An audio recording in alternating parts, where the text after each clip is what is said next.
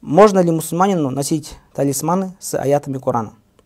Да, разрешается носить талисманы, амулеты или, как на казахском языке, тумары с э, аятами Корана или из э, дуа, молитвами из сунны. Э, однако нужно понимать, что вот эти талисманы или амулеты, они сами по себе не защищают человека от бед, от всяких других э, горей и так далее. То есть, на самом деле, спасающий и защищающий – это один, единственный Аллах Субхану Тааля.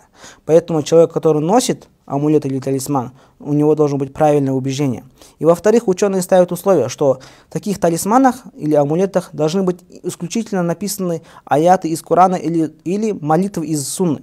Если будут написаны что-то помимо этих на непонятном языке или на арабском, но непонятно что, то тогда это категорически запрещается среди ученых Масхаба.